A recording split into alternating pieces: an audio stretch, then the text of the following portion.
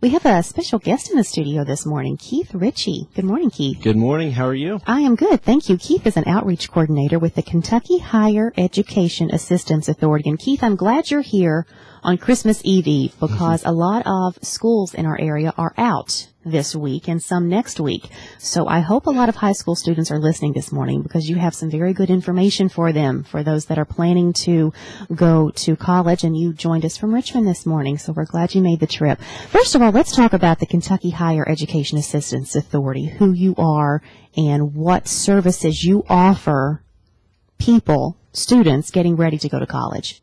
Absolutely. Well, well, we're oftentimes referred to as KHEAA, K-H-E-A-A. We're a state agency through the state of Kentucky, and we're the people that divvy out all the state financial aid for college. Um, and, and really what we focus on is we connect the dots for middle school to high school and from high school to whatever it is a student wants to do after high school.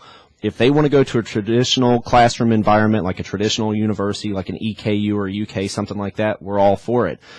I understand and I know from experience, I've got some buddies from high school, they wouldn't take a million dollars to step foot in a regular classroom after 12th grade. If you know someone who is like that, that's okay. We've got some alternate uh, routes to go. For instance, our community college and technical college system here in the state of Kentucky, one of the best in the entire country and I tell students this all the time, if you know someone who doesn't want to go to, uh, to a traditional college, those types of schools might have something like diesel mechanics, welding, some of those more hands-on degrees. So really what we focus on is education. That, that's really what we're all about because it's simple. The reason why we focus so much on education, study after study after study for years and years and years, has all shown that students who have some sort of education beyond high school, two things happen to them. One, they end up making more money on average per year, and two, they have an easier time finding a job. So that's really what why we do what we do. A lot of people might not be familiar with our name, KHEAA, but a lot of them are familiar with some of our state aid programs. Probably our most popular would be KEES Money. Uh, and KEES Money is a state scholarship program that we divvy out throughout the state of Kentucky that every student in Kentucky has the ability to earn. Uh, but what I personally do at KHEAA, I'm an outreach counselor. There's 13 of us. Every single county in the state of Kentucky is serviced by at least one outreach counselor. We're going to talk more specifically about KEES coming up in the program, but high school seniors especially and parents this morning of high school seniors pay attention to Keith because he's going to give you some information on how to get some financial aid assistance for college and the financial aid money in Kentucky actually across the country it does run out so Keith is going to talk us through step by step what you need to do as someone getting ready to enter college on how to prepare for your finances for college to get that financial aid. So Keith, let's assume a high school senior who is wanting to go to college has done absolutely nothing in terms of the financial aid process. What's step number one? Step number one is apply to the colleges that the student may be interested in possibly going to next school year. Well, we always try to tell people the earlier the better to get your applications in, and it's more of a strategic reason than anything. Think about it in terms of competition. If you wait until the deadline to get your application in just for admission consideration to a school, it could be very competitive at that point. They may only have two spots left because they only have so many dorm rooms, so many teachers to teach the classes, and so forth. So what we try to tell our students in the state Kentucky, get those applications in as soon as possible. If you haven't applied to a college yet, now's the time to go ahead and get those applications in. So get the admission part done first. Step two is when we start flipping a switch and we turn that corner from admission to financial aid because that's the big one that, that parents are certainly concerned about is And that's what we need to do right now. Financial Absolutely. aid right now. yeah, this is we're starting to turn that corner into step two, the financial aid part of it. It's financial aid season, and just actually over the last couple weeks, Governor Beshear actually just proclaimed the month of January being Financial Aid Awareness Month here in the state of Kentucky, and uh, the timing couldn't be better because if, if you don't take anything away, take this away. January, January, January, January. We've got to get that federal aid application. It's called the free application for federal student aid, but you'll hear it referred to as the FAFSA. The FAFSA is your magic key to getting any money at all from the government, whether it's from the federal government, the state government, need-based aid from us at KHEAA. If you want any aid that's based on how much money the parents make, how many brothers and sisters are in the house, any of those types of uh, things, the way you get that is filing the FAFSA in January. Now, what you were saying about the time frame, it's extremely time sensitive here in the state of Kentucky. It doesn't matter so much for the federal money, but the way we do things here in the state of Kentucky, it's kind of a first come, first served basis when it comes to need based aid grants, free money for college. The way we do it in Kentucky, we spend all the money we get. Absolutely. We're, we're happy to. But once that money's gone, it's gone, and it doesn't come back until the next year. Uh, to give you an idea of how quick we've, we've got to get these FAFSAs done, January 1st is the first day that any student can file this thing. January 1st. To give you an idea, last year we ran out of all state grant money the first or second week of February. So that's why I say January, January, January. Here's what the, a lot of people don't realize though. The FAFSA is based on financial information that's going to ask you a lot of stuff about your tax return and stuff like that from 2013. Well, the issue that a lot of parents have is, well, we've got to get this FAFSA done in January to have a shot at getting anything from the state government to help pay for college, but I'm not going to have my taxes done in January. And, and that's how I am. I'm not going to get my W-2s and probably until the end of the month. So what we tell parents, and a lot of people don't realize this, you can file a FAFSA on estimated information. It's not, you know, I wouldn't advise anyone to wait until their taxes are done. Go ahead and get that thing submitted because that date that gets stamped on that FAFSA is the date that we look at when we start divvying out this money. So get that thing done in January, have that January date on it, and then even if it's March or April, by the time you get your taxes done, you can always log back in and, and update it and make it correct after the FAFSA season is over, the next thing, it, it, starts quieting down a little bit over the next couple months after January the next big uh, part of the cycle is going to be probably around early March. You're going to start getting a lot of stuff in the mail from all the colleges that you've applied to and sent that FAFSA to. And what it is, is every single college you send that to, they have to send you an official financial aid award letter that's going to break down the entire cost and also line by line what you're going to end up getting from the school and from the government to help pay for it. And then at that point, that's when a student can sit them down side by side, these letters, and figure out what is going to be the best financial decision. Keith, where can students and parents get a FAFSA form? Well, now the the website to, to do that, it's basically all online now. It's hard to find a paper copy. They're, they are still out there, but really, um, what I would advise anyone to do is go online to FAFSA, FAFSA.gov. It's a government website. It's totally free to do. It's a free application. But one thing I will uh, let everyone know is just kind of beware of some scam sites out there.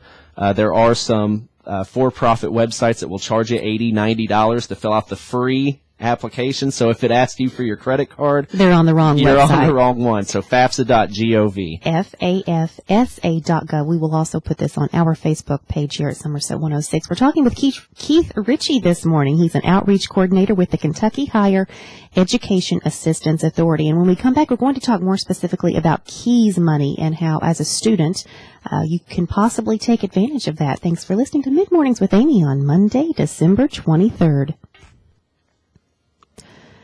Happy Monday, everybody. It's 34 degrees outside in the Somerset area, and you are listening to Mid Mornings with Amy. We have guest Keith Ritchie in the studio this morning. He is an outreach coordinator with the Kentucky Higher Education Assistance Authority, and he is telling us this morning what we need to think about and be doing as parents and as high school seniors, especially getting your financial aid money or preparation for your financial aid money in order for college, and we were talking about the, the FAFSA form, and you had mentioned, Keith, it is a need-based financial assistance form, but everybody should apply. Yeah, absolutely. And and I have a lot of parents come up to me, you know, with the question, should I file this FAFSA if I know you know, there's no way that I'm ever going to get any grant money from the government because we, you know, we make too much money, we have too many assets, whatever the case is. And my answer is always absolutely. I would advise and, and encourage every single family to file the FAFSA, and I'll tell you why even if you make a billion dollars a year and have every asset in the entire world, at the very minimum, at the bare minimum, you're at least going to be offered federal government loans. And I know that no one gets really excited about any loan eligibility,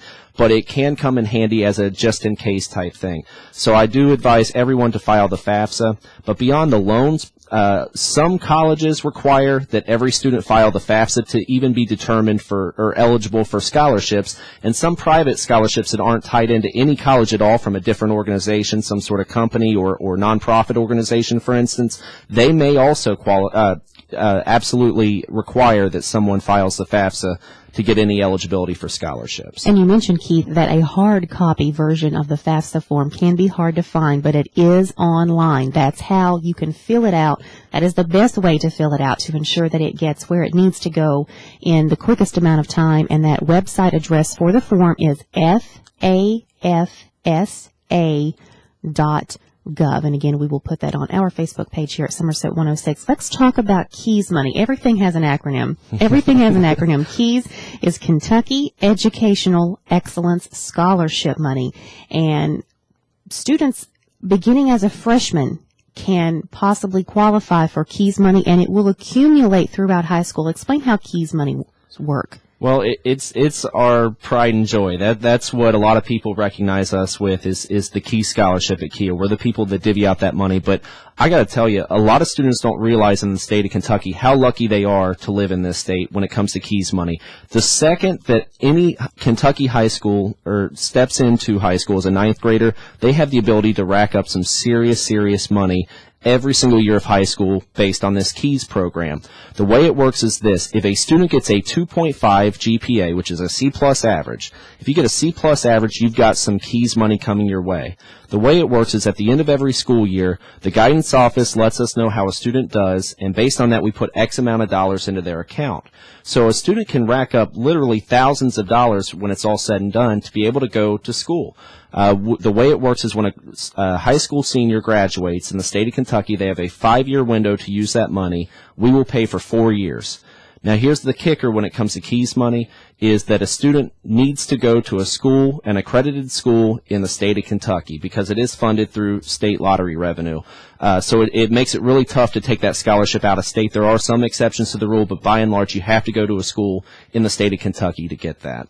And this money can start accumulating for high school students when they are a freshman. So they need to be working hard as a freshman because by the time they get to be a senior, that's when all of that money will, will come into play. And you do have to have at least a 2.5. Is that right? A 2.5 minimum to qualify for KEES money. Yeah, 2.5 is, you know, the lowest GPA that a student can have to get money from us uh, out of the KEES program, but it, it's on a sliding scale. So the higher the grades, the more money. And we were talking uh, earlier that um, if a student gets straight A's all through high school, uh, 4.0 GPA all through high school, that's $8,000 in the long run that they end up getting for school. I don't think a lot of people realize how much money really is at stake.